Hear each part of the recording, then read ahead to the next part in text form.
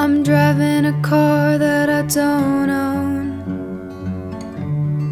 Wondering what it means to be home.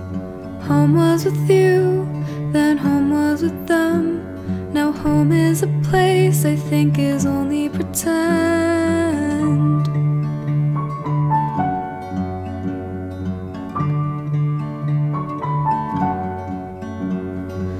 I'm on the back of a rumbling train. Wondering what it means to be in pain. Pain was that knife, now pain is being alone. Pain is not knowing what it is to be home.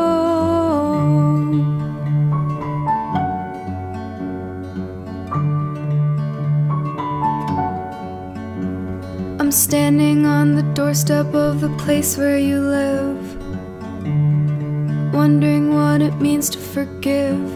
If it doesn't mean that what you did is excused, then maybe forgiveness is a thing that I can give you.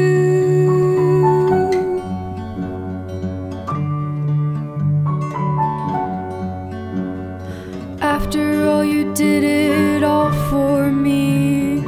All you ever wanted was to see me to find a home.